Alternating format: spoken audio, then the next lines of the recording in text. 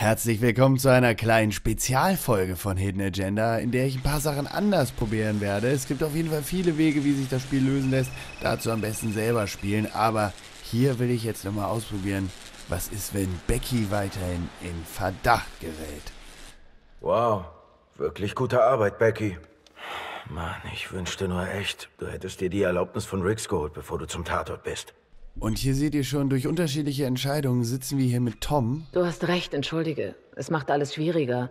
Aber ich glaube, Riggs hätte mich nicht gehen lassen. Und ich musste es mir nochmal ansehen. Der Typ aus dem Video? Mit dem Pulli? Den habe ich vorhin verfolgt. Der Trapper und das Callgirl hängen zusammen.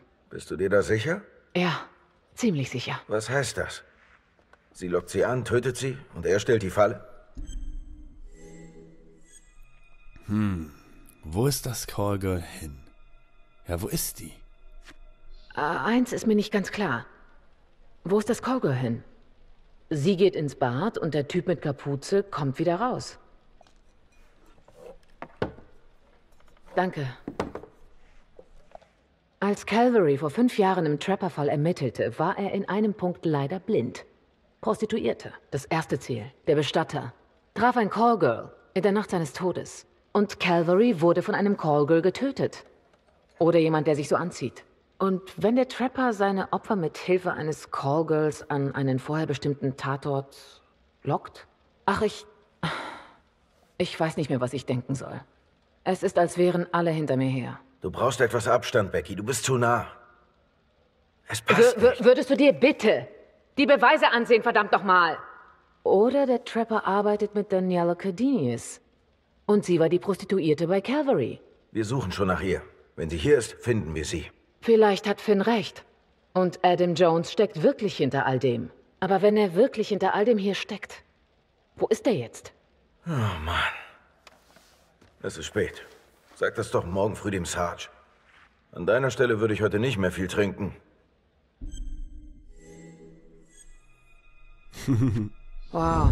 Danke, Mom.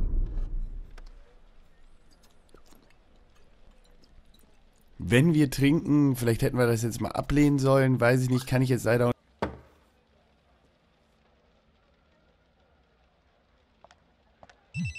Hallo? Ich hab Adam Jones. Finn? Wo sind Sie? Ich stehe vor seinem Haus. Hab doch gesagt, ich finde ihn.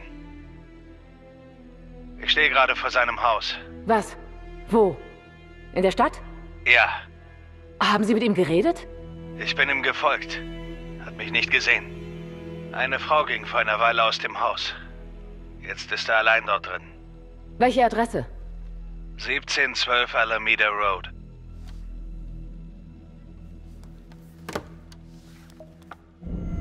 Ich habe jetzt natürlich wieder getrunken und wenn wir trinken, dann werden wir auf jeden Fall entführt, glaube ich. Ich glaube, wir können das aber halt auch ablehnen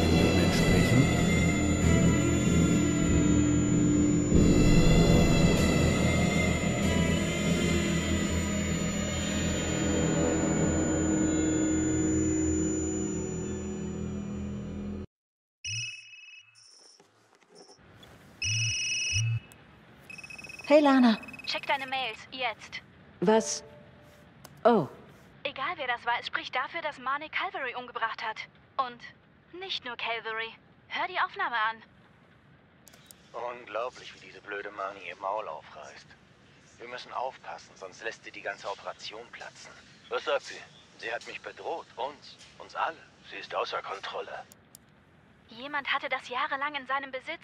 Hast du die Stimmen erkannt? Nein. Sollte ich? Es wurde bestätigt. Es sind zwei der Officer, die der Trapper getötet hat. Verdammt, weißt du? Was? Marnie verhält sich wirklich seltsam. Ich sag's nur ungern, aber es passt zusammen. Ja, und hier läuft jetzt wirklich alles darauf hinaus, dass Marnie angeblich der Killer wäre. Wir haben kein Alibi, wir sind Simon nicht auf die Schliche gekommen zu diesem Zeitpunkt und so weiter. Also jetzt versuchen wir natürlich hier, sie ins Fettnäpfchen zu reiten.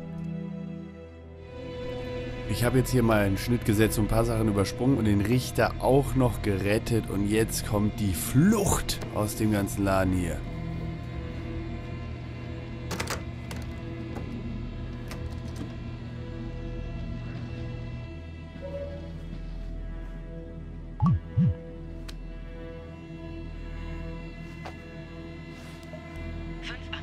Abwesenheit. Tom Nelson. Bist du? Oh Gott, Tom. Hast du ihn wirklich entführt, Richter Vanstone? Es hieß, du bist im Elliott Hotel. Wir stehen davor. Jetzt gerade. Ich bin im Hotel, aber Sie müssen mir helfen. Bitte. Becky, bleib da. Wir kommen rein. Scheiße, wir müssen abhauen. Das wird nicht besser, wenn wir jetzt da bleiben, oder? Bombenräume. Becky Marley. Elliot Hotel. 0.52 Uhr. Und jetzt kommen sie. Die SWAT-Einheiten. Die Spezialkräfte. Können wir fliehen rechtzeitig? Die Frage stellt sich mir jetzt natürlich und euch sicherlich auch. Wir müssen da weg. Wir können da jetzt nicht warten oder sowas. Das wäre eine dumme Entscheidung.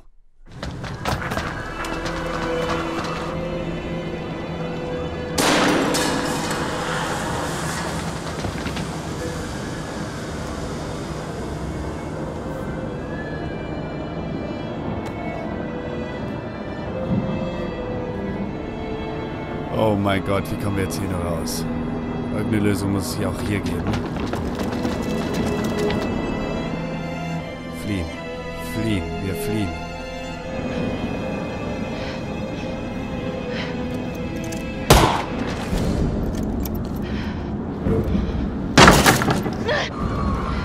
Das bringt uns überhaupt nichts, wenn wir jetzt in Gefangenschaft sind. Dann kommen Finn und alle. Halt! Halt, Gottverdammt, jetzt!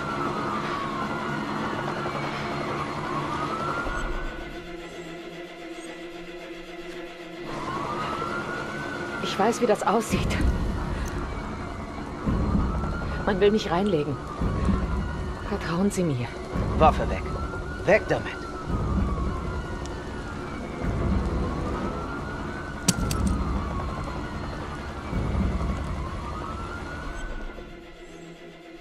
Wir hauen ab, oder? Der schießt uns eh nicht. Oder? Der Rix ist unser Freund. Der wird uns nicht töten. Wir fliehen.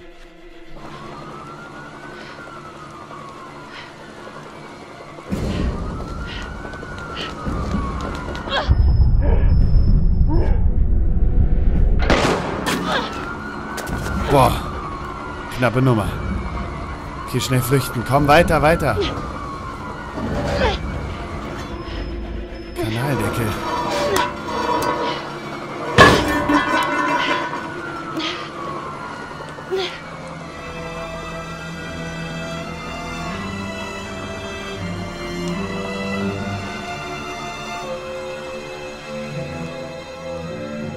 Erfolgreich geflüchtet. Also man sieht, auch die Flucht gestaltet sich jetzt wirklich ganz anders, wo wir jetzt hier die gute Becky wirklich in den Mist geritten haben. Äh, Finde ich nicht schlecht gemacht, weil man so sieht, dass es auch unterschiedliche Wege gibt. Ich werde jetzt hier nicht alle ausprobieren, aber vielleicht äh, hier den noch mal probieren. Okay, okay, ganz, ganz tief durchatmen. Okay? Nein, nein, nicht tief durchatmen, Felicity. Ich werde reingelegt. Und jetzt, jetzt, jetzt, jetzt bin ich von einem Tatort geflüchtet. Hören Sie, ich bin auf Ihrer Seite, das wissen Sie. Aber Sie müssen sich stellen, okay? Wissen Sie was? Sie müssen sich nur stellen. Und wieder zwei Auswahlmöglichkeiten. Was ist uns entgangen? Die nehmen mich nicht fest. Ja, wir machen mal erst nur die Frage stellen, vielleicht bevor wir uns entscheiden. Oder ist es jetzt die Entscheidung? Ich dachte, wir könnten das knacken. Verdammt. Was ist uns entgangen? Ah, das war schon eine Auswahlmöglichkeit jetzt eine komplette. Shit. Ich dachte, das wäre das Ende. Hätte ich jetzt gerne noch die Flucht eigentlich gespielt weiter. Naja, das war auf jeden Fall jetzt das Ende, wo sie aufgibt. Und da bin ich ja auch mal gespannt, wie das jetzt endet. Ich kann jetzt das andere leider nicht mehr zeigen, weil da muss ich wieder von ganz, ganz vorne spielen. Aber ich denke mal, bin gespannt jetzt hier auf dieses alternative Ende. Vor einigen Stunden ist Richter William Vanstone aus seinem Haus im Osten der Stadt entführt worden. Er wurde bereits gerettet und erholt sich im Kreis seiner Familie. Kurz darauf ergab sich Detective Becky Marney der Polizei und wurde verhaftet. Sie widersprach jeglichen Vorwürfen, gilt aber sowohl im Vanstone-Fall als auch für den grausamen Mord an Detective Jack Calvary als dringend tatverdächtig. Unbestätigten Berichten zufolge war möglicherweise Detective Becky Marney an der Flucht des verurteilten Serienmörders Jonathan Finn beteiligt. Jonathan Finn wurde verhaftet und unterstützt unseren Berichten zufolge die Polizei bei ihren Ermittlungen. Es heißt, er habe bei der Identifizierung Hillarys als Verdächtigen eine Schlüsselrolle gespielt. Die Ermittlungsarbeiten dauern an. Soeben verlas Sergeant Riggs vor Vertretern der Presse eine kurze Erklärung.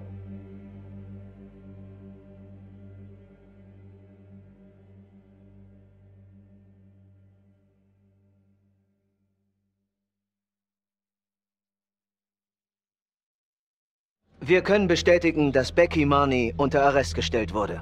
Das ist derzeit alles. Danke. Ich weiß nicht, ob Detective Marney der Trapper war. Kann's nicht beweisen. Aber sie hatte ein Motiv. Gelegenheit, vielleicht. Es kommt wohl darauf an, ob ich ihr vertraue. Das frage ich mich nun schon ziemlich lange.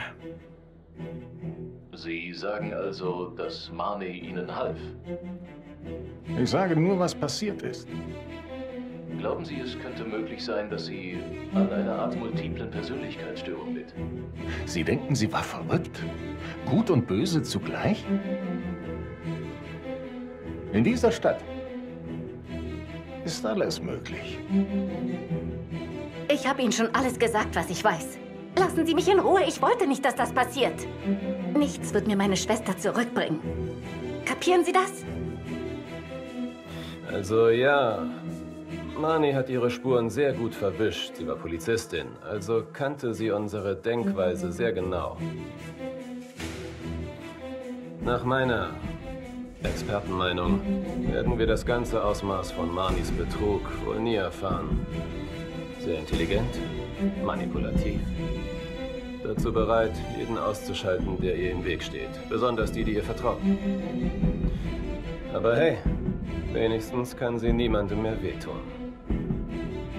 Es war immer etwas komisch mit Marnie. Man konnte ihr nie trauen. Ich wollte ja, aber sie hatte, ich weiß nicht, Probleme? Was denken Sie über Detective Marleys Prozess? Ich hoffe, sie kriegt, was sie verdient. Wieso taten Sie es, Becky? Sie zahlen für Ihre Verbrechen und die Welt wird ein Stück sicherer sein. Was für ein mieses Ende jetzt hier für Becky. Boah, ist das fies. Also aufgeben lohnt sich überhaupt nicht. Lasst euch das gesagt sein.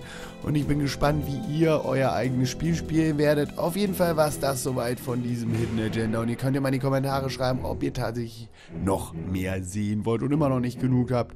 Aber das ist auf jeden Fall interessant, dass es hier so viele verschiedene Enden gibt. Ich verabschiede mich an dieser Stelle und wünsche euch noch einen super schönen Tag.